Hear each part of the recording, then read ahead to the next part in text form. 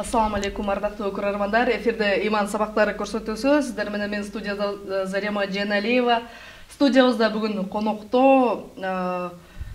куран окуу боюнча дүйнөлүк биринчиликти багындырган мухаммад али умаров. Болмокчу. Ассалому алейкум. Студиябызга кош келдиңиз. Алейкум ассалам рахмат. Алла ыраазы болсун чакырганыңыздарга. Студиябызга убакыт бөлүп келип бергениңизге ыраазычылык билдиребиз. Мухаммад али мырза өзүңүздү тааныштырып өтсөңүз. Куран жаттооңузга ким себепкер болду ким түрткү берди? Бисмиллахи рахмани рахим эң алгач аллах субханала таалага чексиз мактаулар болсун андан кийин сүйүктүү пайгамбарыбыз мухаммад саллаллаху алейхи вассаламга салам жана салаваттар болсун куранга менин ата энем себепчи болгон жатташыма куранга ошолор түркү болгон ошолор жардам берген төрт беш жашымдан баштап куран жаттап баштаганмын. Ата энем ушул куранды сүйдүрүп жаттатып башташкан мага. Аллахым алардан ыраазы болгон болсун эки дүйнөлүк бакыт берген болсун. Бул биринчиден мага ошол ата энем себеп себеп болгон куран жатташыма анан экинчиден чөйрө биз ошол чакан айылыбызда чакан медресебиз бар. Ошол медреседе айылдын жаш балдары куран жатташат. Анан менин досторумдун баардыгы кичинекей кезибизде барып медреседе куран окуйт элек медреседе мечитте барып куран окуйт элек анан чөйрөм дагы ушул куран окуй турган чөйрө болгондуктан мага куранды жатташ куран менен жүрүш жеңил болгон да. Ошон үчүн мен айтат элем ушул куран жаттаганга биринчиден ата энелер күчтүү болуш керек ата энелер жардам бериш керек кызыктырыш керек балдарды куран жаттаганга. Анан экинчиден бул чөйрө дагы аябай чоң таасирин тийгизет экен да. Эгерде жакшы чөйрө болсо ыймандуу чөйрө болсо бала дагы ошол мындай жакшы болуп кетет экен да. Ошондуктан бул дагы ата энелерге бир сунушум ушул куран жаттатыңыздар балдарыңыздарга. Куранды жаттатсаңыздар алар эртең иншалла жакшы ыймандуу балдар болуп өсүшөт да. Демек баягы айлана чөйрөдөгү коом ким менен аралашып жүрөсүң ошол адамдар дагы өтө маанилүү экен да. Куран жаттоодо баягы кичинекей кезден акыл эси тунук болуп батыраак жаттаса керек э жаттоо оңоюраак болсо керек. Ооба албетте жаш кезде эч бир проблема жок. Жаш баланын деле мындай ошол жаш кездеги илим башкача илим болот экен да. Жаш кезде жаттаган нерсең өмүр бою эсиңде калат экен. Аны унутпайт экенсиң ушул жаш кезде жаттаган нерсе бул ошол ташка атыңды жазган сыяктуу деген ушундай макал бар эмеспи. Болушунча ошо ата энелер балдарына жаш кезинде куран жаттатса башка мындай кызыктуу мындай пайдалуу нерселерди үйрөтсө ошол өмүр бою ошол нерсени ал көтөрүп жүрөт экен да. Атам өзү ошол айылыбызда жыйырма беш мындай отуз жылдан бери имам болуп келет. Ошол эле учурда жаш балдарга сабак берип келет. Анан ошол төрт беш жашымдан баштап мени дайыма жетелеп мечитке алып барчу куран жаттатчы ошол куран жаттаган балдарга мени дайыма кошот эле да. Анан ошентип куранга кызыгып баштагам. Анан башында эми төрт беш жашымда куранды жаттап баштаганда ооз эки жаттап баштагам атам өзү ооз эки үйрөтүп баштаган да. Курандын эки жарым парасын ооз эки жаттагам анткени өтө жаш болгондуктан төрт беш жашымда эми кандай жаш бала көп нерсени түшүнбөйт. Мындай бир нерсени түшүндүрсө жакшы түшүнбөйт го жаш бала. Төрт төрт жаштагы бала түшүнбөйт эч нерсени. Ошого жанагы тамгаларды мен мындай бирөө түшүндүрсө түшүнө албай турган мындай возраст болчу да менде. Ошого куранды биринчи ооз эки жаттатып баштаган. Анан ошол биринчи экинчи классыма чейин ооз эки жаттагам анан бир аз акылым өскөндөн кийин анан арабча тамгаларды үйрөнүп баштагам да. Анан ошол тамгаларды үйрөнүп баштагандан кийин өз алдынча арабча окуганды үйрөнгөндөн кийин куранды мындай тез жаттап баштагам да.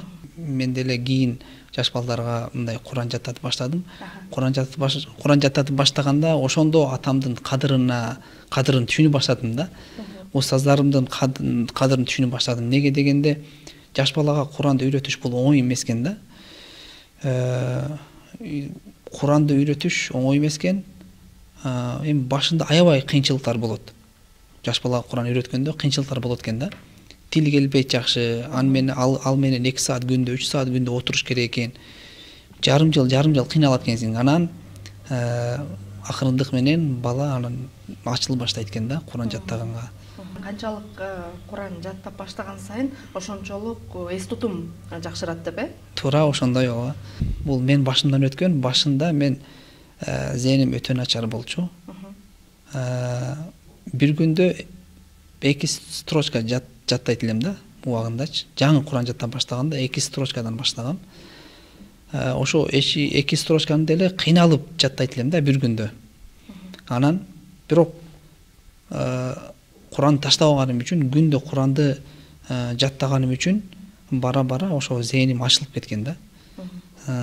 Мисалы бара бара анан бир бетке өткөм бир беттен эки бетке эки беттен үч бетке ушинтип анан зээн ачылып көп мындай жаттай ала тургандай болгом да.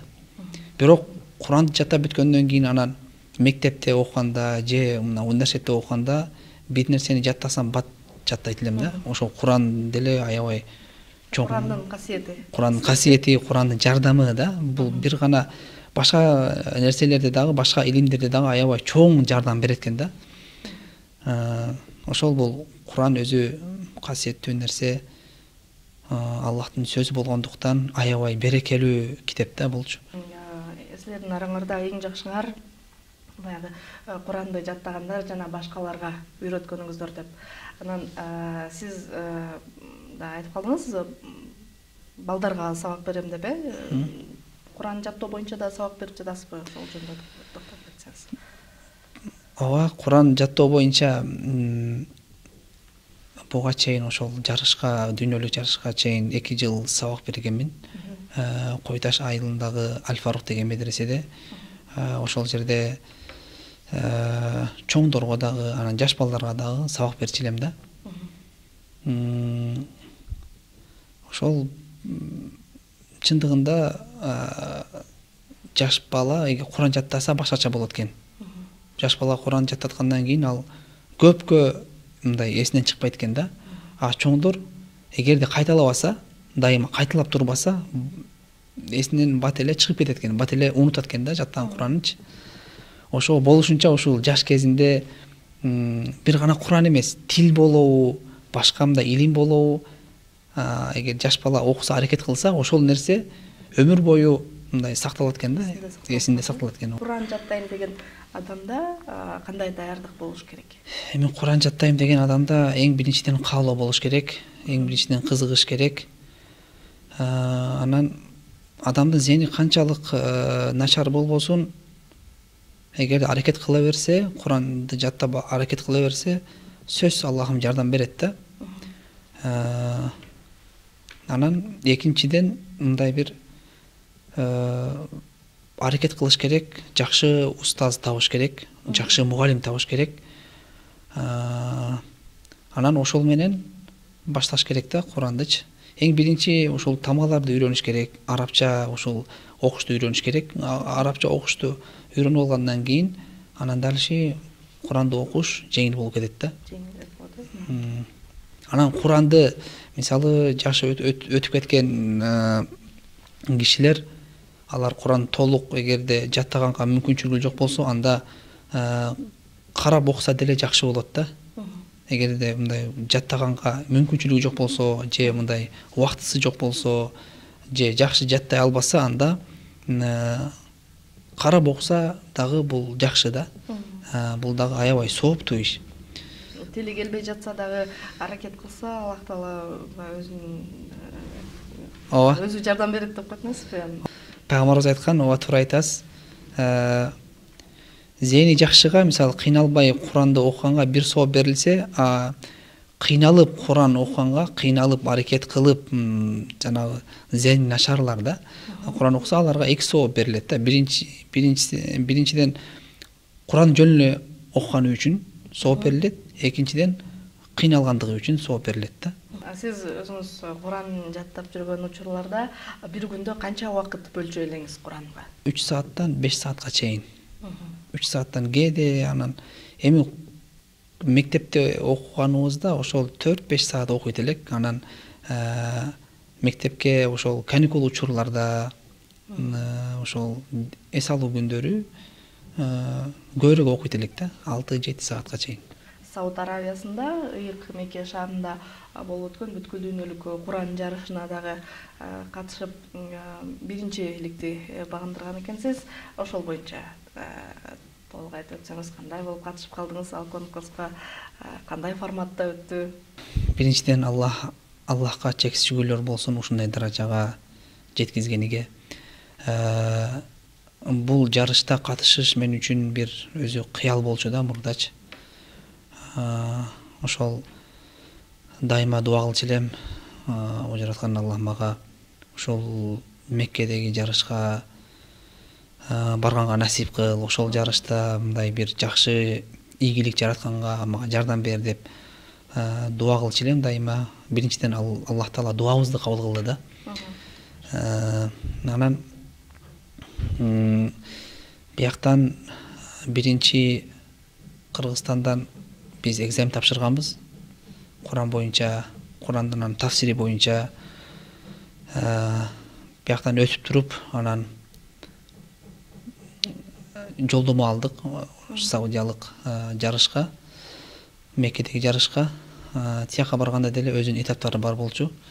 Биринчи этабында сексен баллдан көп алышың керек экен жанагы экзамендечи эгерде аз болсо өтпөйт экенсиң да ал жерге ошо биринчи этаптан эле өтпөгөндөр көп болот экен да.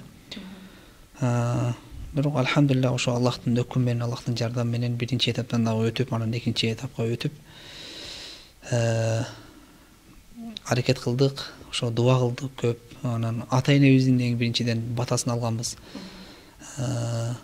Ошол мен ойлойм ушул биякта мындай бир дуба кылганбыз. Анан дубанын аркасы менен мындай көп аракеттер болгон да кудайга шүгүр себептерин кылганбыз эмгек мындай аракет кылганбыз кыймылдаганбыз ошонун берекесин аллах таала кийин берди конкурста баягы кыраат менен окуу анан тафсир дагы кандай талаптар бар эле ал жерде эми мындай категориялар бар болчу да.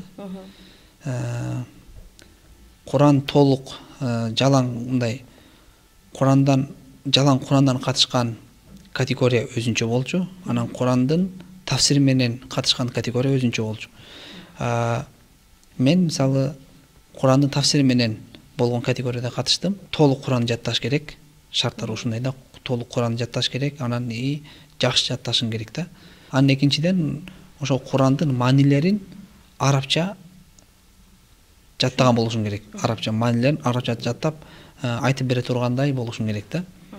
Мына биз ошондой категорияда катыштык.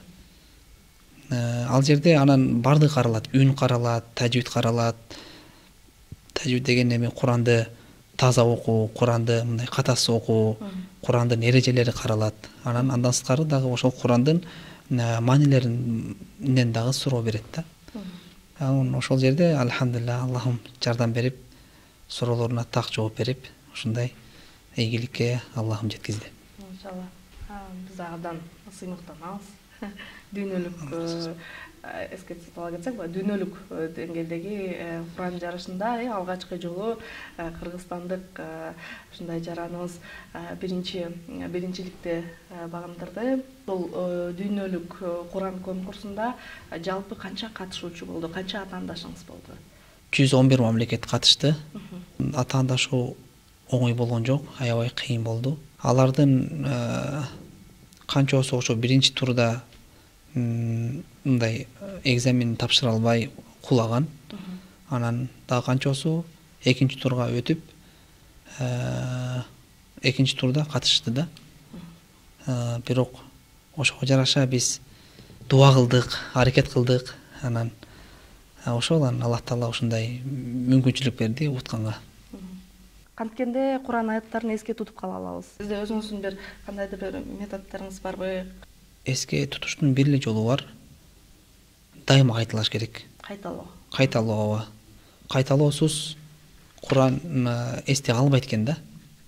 Дайыма кайталаш керек. Бул жанагы куранды таштаган адамды пайгамбарыбыз ошол мисал келтирген. Чөлдө мисалы төөнү мындай бир жиби жок. Бош кое берген мындай төөнү чөлгө мындай кое берген бош кое бергенге мындай салыштырганда ошол куранды эгерде жаттаган кураныңызды кайталабасаңыз окубасаңыз ал бат эле чыгып кетет. Мисалы бүгүн жаттаган аятыңызды эртең кайталаңыз бир күн кайталаңыз бир жумага чейин кайталаңыз ошондо гана анан сиздин эсиңизде калат да. Эгерде кайталабасаңыз эсиңизден чыгат ошого бул куранды жатташ оңой эмес анан куранды жатташ ар кимдин мындай эми аллах таала кимге жакшылык кааласа куранды жаттатат экен да. Бул ошого эгерде куран жаттасаңыз ошондо мындай карылардын балким мындай кадырын көп адам түшүнүп калат деп ойлойм да. Угуу менен дагы эсинде калат да э? Ооба. Жаш балдарга эми көп угузуш керек. Эгерде көп окутуш керек. Анан угузуу деле аябай бул жакшы метод. Мисалы эгерде жана эки үч жаш эки үч эки үч төрт жана жаштагы балдарга аларга озеки окутуш керек да. Мисалы ата энелер мисалы өздөрү билген ошо сүрөлөрдү жаттата берсин. Ошо өздөрү билген сүрөлөрдү жаттата берсе кадимкидей эле ошо жаш бала жаттайт экен да өзгөчө ушул эне эгерде куранды билген болсо бул балага аябай чоң плюс болот мисалы мага мен мага ушул апам аябай көп жардам берчү да мисалы үйдө болгондо дайыма атам үйдө жок болгон кезде апам менен отуруп дайыма куран куран жаттаганга жардам берчү да ошол эгерде эне куранды билсе ошол балдарга деле аябай чоң жардам болот. Балдарга жакшы жардам бере алат экен да куран жаттата алат экен да. Мен канча деген энелерди билем. Мындай куранды балдарына жаттаткан балдарын хафиз кылып чыгарган энелерди билебиз да. Иншалла дуба кылабыз. Ошондой энелер ошондой апалар көп болсун бизде. Эне жакшы болсо коом жакшы болот балдар жакшы болот дегендей куран жаттап баштаганда аябай мындай жеңил жол менен башташ керек да албетте бул бакарадан баштаса аябай кыйналат майда сүрөлөрдөн жаттап башташ керек дайыма ушул оңой жол менен жатташ керек да куранды кыйынтатпаш керек أعوذ بالله من الشيطان الرجيم بسم الله الرحمن الرحيم. الله لا إله إلا هو الحي القيوم. لا تأخذه سنة ولا نوم. له ما في السماوات وما في الأرض. من ذا الذي يشفع عنده إلا بإذنه يعلم ما بين أيديهم وما خلفهم. ولا يحيطون بشيء من علمه إلا بما شاء. ولا يحيطون بشيء من علمه إلا بما شاء. وسع كرسيه السماوات والأرض ولا يئوده حفظهما وهو العلي العظيم صدق الله العظيم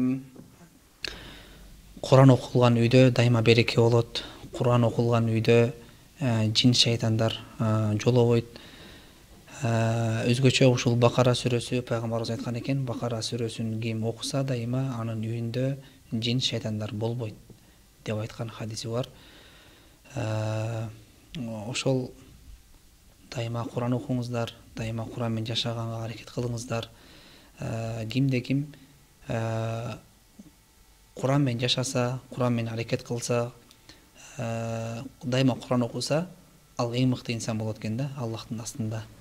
Анткени ким кайсыл нерседе куран болбосун ошол нерсе ыйык болот экен да. Мисалы ушул орозо айында аллах таала куранды түшүргөндүгү үчүн орозо айы рамазан айы эң мыкты ай болду да. Эмне үчүн? Куран түшкөндүгү үчүн. Куранды ошол жебирейил периште аркылуу аллах таала түшүргөндүгү үчүн жебирейил периште эң мыкты периштелерден. Эң жакшы периште бул жебирейил периште болду да жебирейил периштени баардыгыбыз тааныйбыз анткени куранды алып түшкөнгө себепчи болгон да ошондой эле мына биздин пайгамбарыбыз биздин биздин пайгамбарыбызга куран түштү ошон үчүн куран ошон үчүн пайгамбарыбыз эң мыкты пайгамбар болду пайгамбарлардын мындай бир имамы болду да ошондуктан бул куран менен ким жашаса куранга ким амал кылса куранды дайыма окуп жүрсө ал эң мыкты инсан болот экен да ошого аллах таала баарыбызга куран менен жашашты насип кылган болсун дайыма үйлөрүбүздө куран жаңырып турсун окулсун дайыма. Балдарыбыз жаштарыбыз баардыгы куран менен жашап калсын. Көрсөтүүбүздү ушуну менен жыйынтыктайбыз. Мухаммад али мырза сизге ыраазычылык убакыт бөлүп бизге келип бергениңизге эске сала кетсек бүгүн студиябызда конокто сауд аравиясынын ыйык мекке шаарында болуп өткөн куран жарыш конкурсунда биринчиликти багындырган мухаммад али умаров мырза студиябыздын коногу болду. Кийинки көрсөтүүдөн көрүшкөнчө аман болуңуздар. Ассалому алейкум ва рахматуллахи ва баракатуху